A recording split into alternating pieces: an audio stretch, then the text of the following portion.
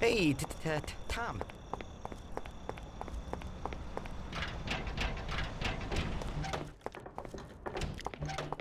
Good evening, Vincenzo.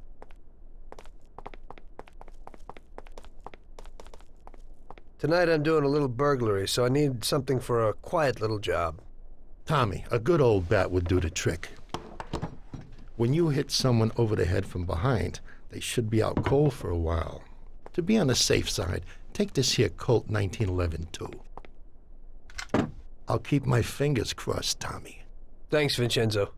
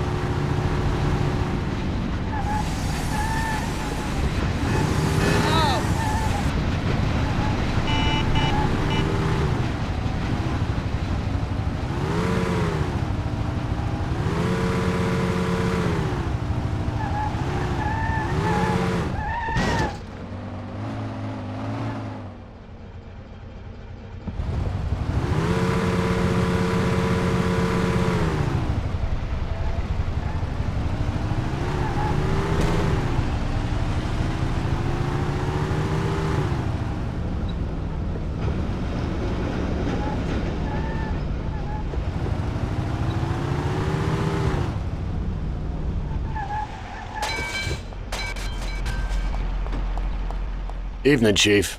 Let's get moving. Great. So where are we going? So, you can open any safe in the country, right? Almost every one, Chief. And how did you learn that trick? My grandpa was in a business. It's inherited. The safes keep getting better, so a fella has to keep up with the times. Some of the safes around these days are pretty tricky.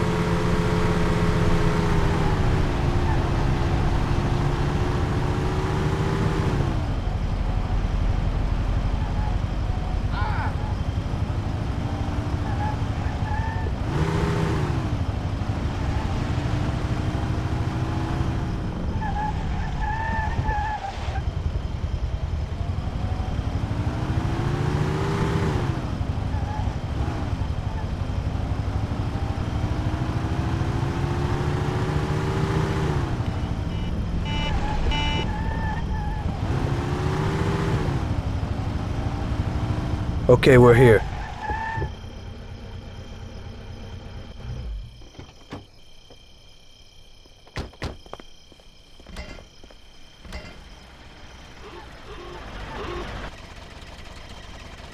Can you open it, Salvatore? I'll try, Chief.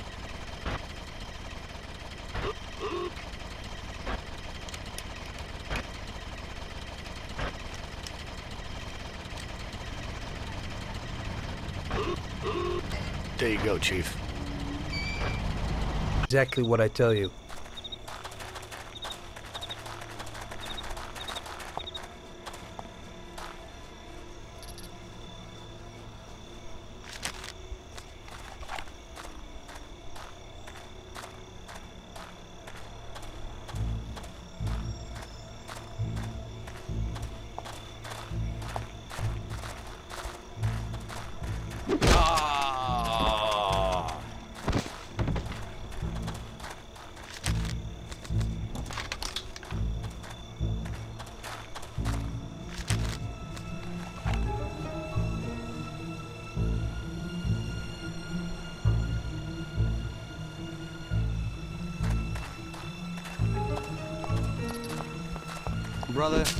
Yesterday some Patty knocked into me in the bar. A real typical son of a bitch. And I say to him, hey, pal, what you trying to pull? And the bastard spits in my mug. What'd you do to him? Yeah, knocked him down. I'll tell you, you won't forget that in a hurry. And what did he do? He came right back at me, man. Nearly had me, the bastard. But my boys were there and they knocked his teeth out. He got what he deserved. You can't let those punks get in your way. Sure, but then his friends showed up and busted up the whole joint. Son of a bitch.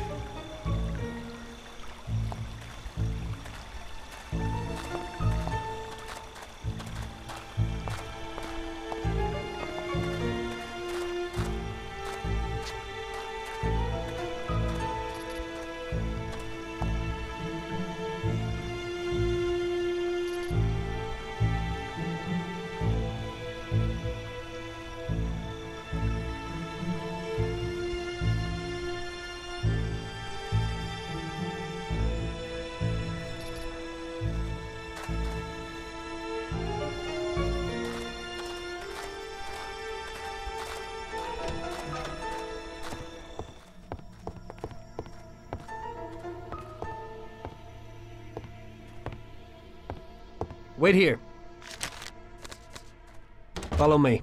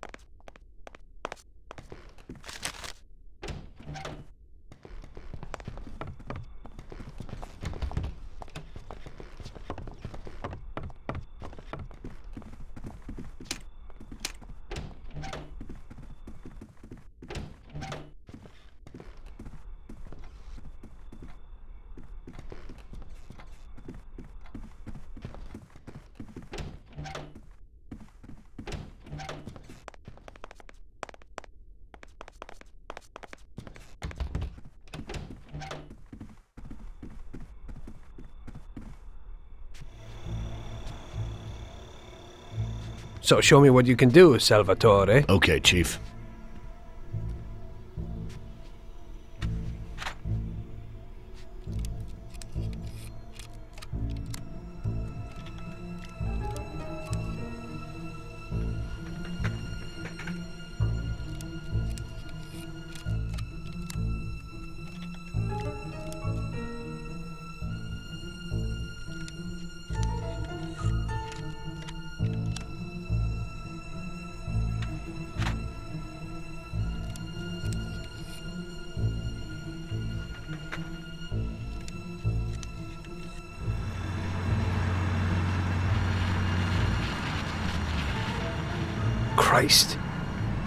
Looks like we better get out fast, Salvatore. Got it, Chief. Piece of cake. Everything's fine, boss.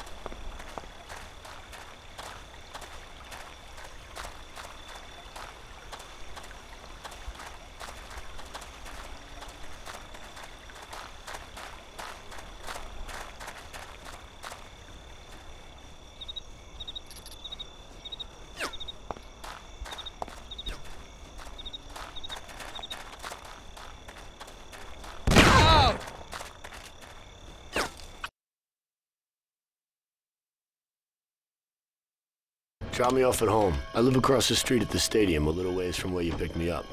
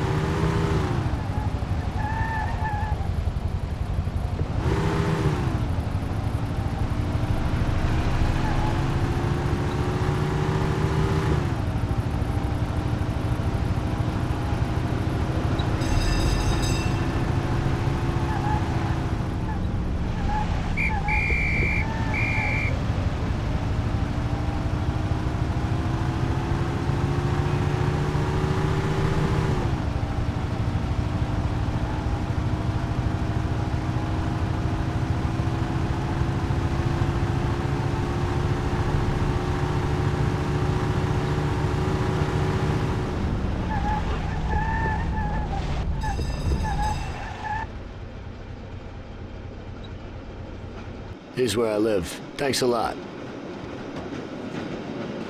I hope it'll be a little cooler next time. Today I almost crapped my pants. I hope so too. Get some shut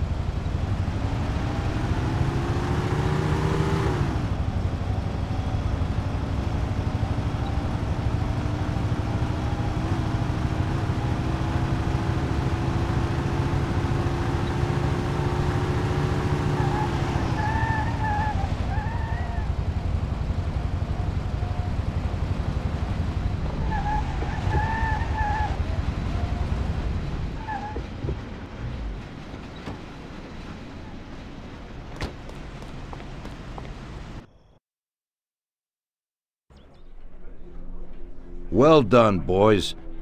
The last job went fine. There's no evidence or witnesses left against us. Thanks to your persuasive methods, they won't even squeak. Thanks, boss. We try to make you happy. well, you certainly did. But today we're here for something else. Paulie has a pretty interesting proposal. Well, I met a guy from Kentucky, William Gates. Everyone knows that Kentucky makes the best homebrewed whiskey. Well, anyway, this guy almost threw up when he tried the whiskey which Morello sells here. When he gave me a drink of this stuff, they brew back there, forget about it. I won't drink anything else. So I asked him about it, right? He said it was no problem and that he could deliver me as much as I wanted. You know, I got jazzed thinking about the dough we'd make on it. Well, I ordered a truckload of it. I said to myself, if it catches on here, we can make a bigger deal later. It would certainly be a good replacement for the loss of our Canadian. I like it. Nice one. Me too. So we're gonna pick up some beautiful booze. I'm already looking forward to it. Where they hiding it? They'll meet us in the big parking garage. We have to be more careful than we were before. You'll get to the place by car with two other boys. They'll be your escort on the way back. You three pick up the truck and take it to our warehouse in Hoboken. The boys are already out in the yard waiting in the car. And bring me back a bottle so I can finally drink something decent. Count on it, boss.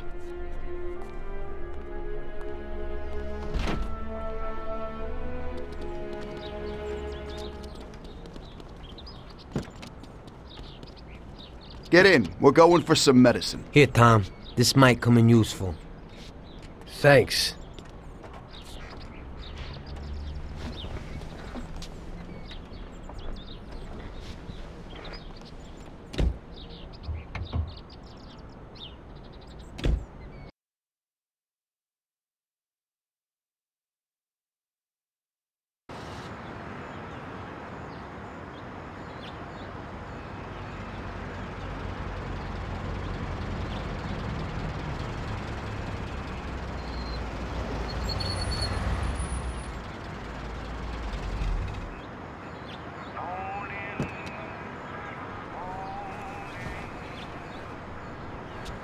Wait for us here, boys. We'll be back in a little while. When we drive out, follow after us. Then we'll have a shot at the warehouse. Sure, boss.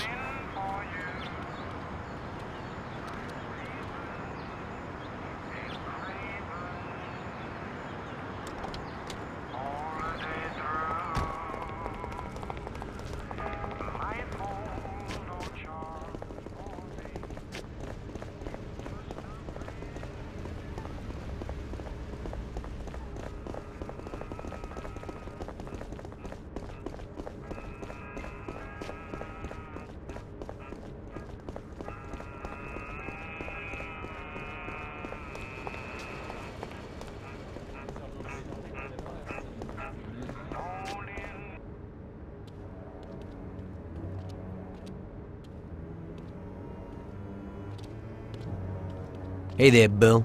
It's good to see you again. Hey, Paulie. These are my partners who are good friends. They like the idea of working together. And they also like first-rate whiskey, which yours certainly is. That it is. The main thing is that Don Salieri likes it too. And since he's financing the whole deal, here's your first payment for the goods. Give Mr. Salieri my regards. I'm always happy to do business with people like him. You should be, Bill. You could hit it big with this. If this small delivery works out for us, we'll order a lot more next time.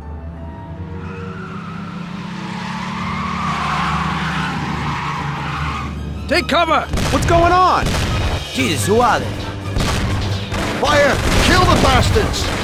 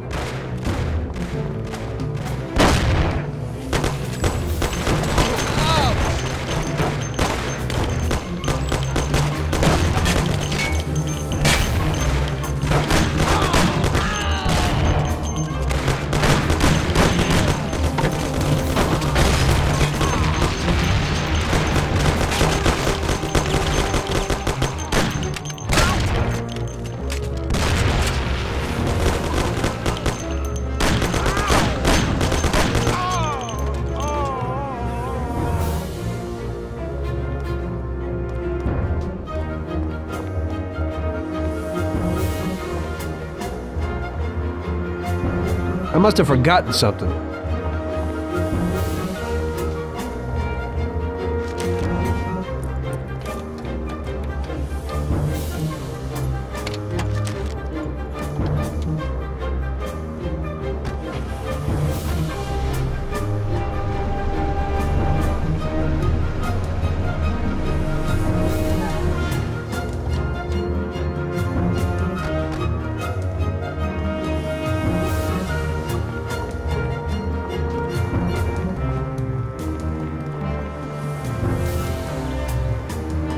I still got some work to do.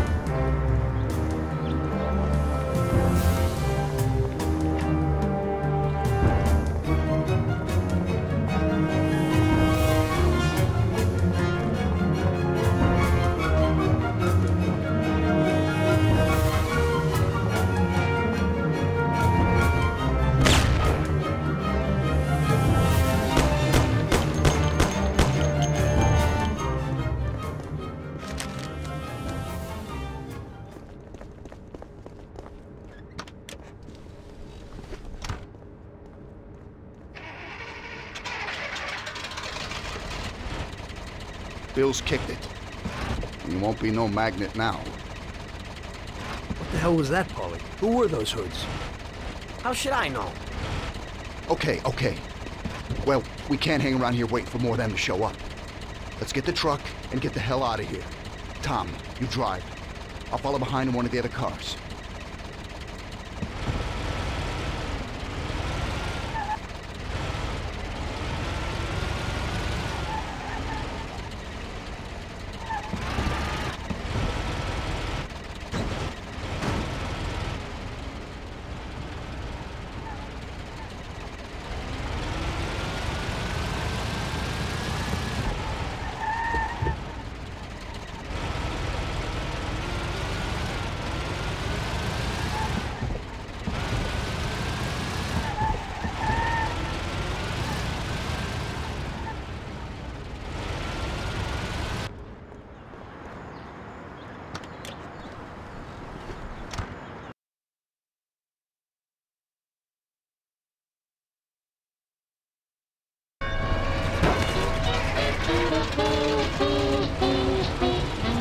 Cats keep beating up your chops, I ought to turn you off the chops. But dig with steel, I'm gonna lay on you gate. Don't cock your broom, park the body and wait. You run your mouth and I run my business, brother. You run your mouth and I run my business, brother. You tell everybody I'm busted. You talk so much you got me disgusted. But you run your mouth and I run my business, brother. Out of the way! You run your mouth and I run my business, brother. You run your mouth and I run my business, brother. You start in telling me you're my pal and end up telling me how to handle my gal. You run your mouth and I run my business, brother. You run your juice juicy mouth and I run my business, brother. Just run your juicy mouth and I run my business, brother. You always telling me what to do, saying I wouldn't do that if I was you. You run your mouth and I run my business. Move it! Just clap your little lips and I run my business, brother. Clap your I don't wanna die. and I run my business, brother. Get in for Christ's sakes. We can't hang around. If I'd followed your advice on how to make dough, I'd been in the jailhouse long ago. You run your mouth and I run my business, brother. Tom, where you going? We gotta take the truck. Get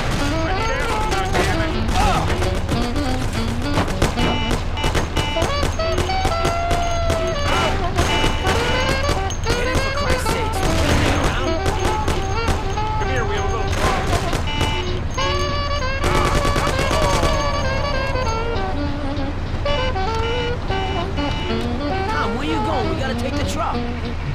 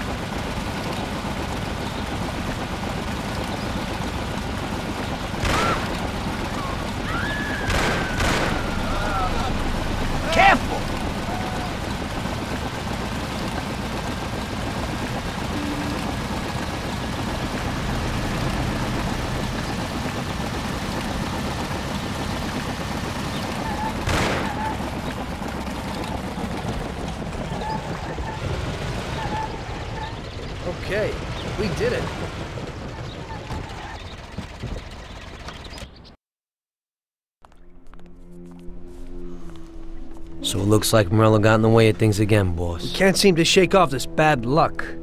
Boys, you won't believe this, but it's completely the other way around. The only one who really had bad luck this time was Morello. What? I found out who our Mr. Gates really was. And? Gates was never really from Kentucky. He was a small time thief who stole the goods from Morello and wanted to sell them to us. Morello doesn't think that he almost stopped our deal, but that we pinched a truckload of his most expensive whiskey. I bet that bastard's happy now. Unbelievable! Well, that worked out just fine. Let's drink to that. To another success, boys. Salute.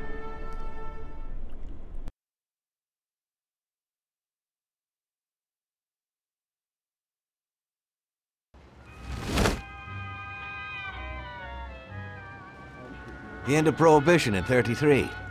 You probably weren't too happy, huh? The end of the good old days. Yeah, not too happy, but it wasn't all bad.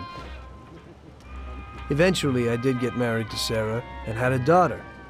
It was a good time. But life went on in business. We made a huge amount of dough during Prohibition, which we invested into new deals. A lot of them were legitimate.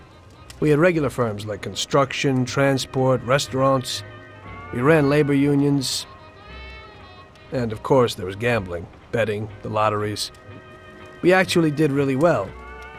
We just tried to stay out of drugs, even if it wasn't always easy. Come on, business is business, right? You're way off there. The Cosa Nostra ain't no Paddies or Chinamen. With drugs comes big money and even bigger problems. When someone has a problem with the cops because of drugs, he does the sensible thing. He admits it. If his family catches him, they rub him out. Drugs are taboo. So what? There's some kind of grand poobah passing judgment? Something like that. The leading families choose a boss of bosses. They sort out the big problems and set the rules of the game. So, criminals who break the law have their own courts that judge them? That's just great. Laws aren't changeless holy words. Every country in the world has their own. It's just somebody with a lot of power applying their own will. It depends on the person whether they'll serve someone else blindly or apply their own will. Why should the Don be restrained?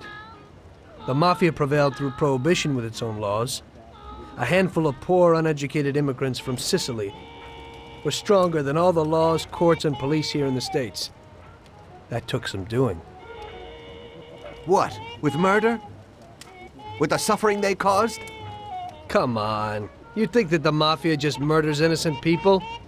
The Mafia punishes those who break laws. And the majority of your laws, too. Unfortunately, we can't put anyone in jail or fine them. Everybody who comes and works for us knows what to expect if he breaks the rules. People lie and steal, and there are lots of criminals here who get unbelievable pleasure when they steal from the mob, as well as the mafiosos who get pleasure from cheating the state. And what about all the payoffs, robberies, and raids, huh? Hey, the cops ain't no saints neither. No Don encourages his men to go around harming people. And what other people do on their own isn't our concern. And as for payoffs, most people come to the Don for help and advice on their own. And they'll pay gladly for it. The Don is an esteemed person, but not every Don is like Salieri. That's the truth. There you go. Your system works, but you know why? Because you're a bunch of selfish murderers. And you only care about your own gain. All your efforts are spent ensuring that you live like pigs in shit. That's why you're so successful. You're only looking out for yourselves. We look out after everybody. A few cops have to ensure law and order for all, and that's a much harder job. That's true. But you can easily leave the Don outside your protection. He'll watch his own back. And what about you? What are you sitting here for?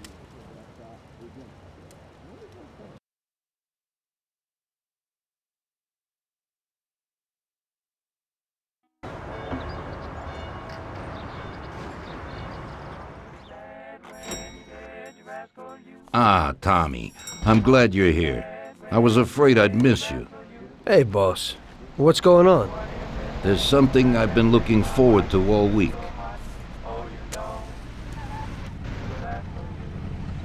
I'm going to Pepe's restaurant for lunch, but my personal bodyguard has called in sick.